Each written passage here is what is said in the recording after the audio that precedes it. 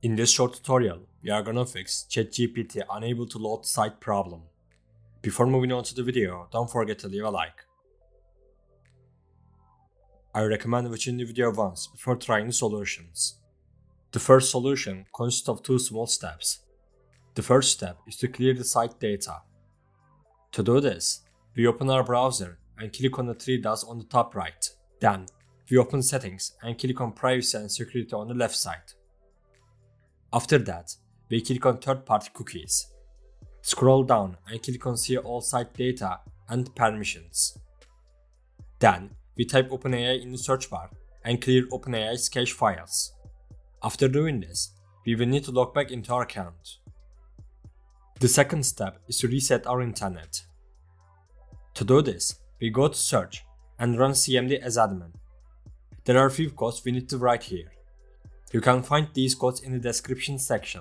We type the codes one by one and press enter.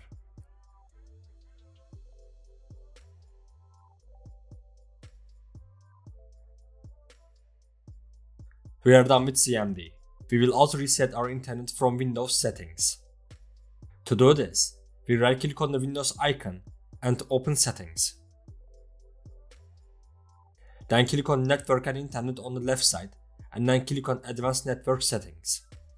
After that, we click on network reset and click on reset now. Click yes to continue. After doing this, we need to restart our computer. After restart, you can check if the problem is solved or not. If the problem is not solved, we will move on to the second solution. The second solution is to change DNS. Since the problem is caused by our internet, changing DNS can help us solve the problem. To do this, we go to search and open control panel. Then click on network and internet and then network and sharing center. After doing this, we click on our network and properties. Double click on internet protocol version 4. We need to use the following DNS server addresses. After doing this, we set the preferred and alternate DNS servers like this. This is Cloudflare's DNS server. It is completely reliable to use. We changed our DNS address. Now, we can check if the problem is solved or not. If the problem persists, we will move on to the third solution.